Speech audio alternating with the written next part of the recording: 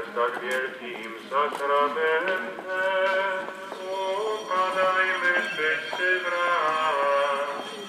Niech przed Nowym Testamentem starych praw stąpi czas.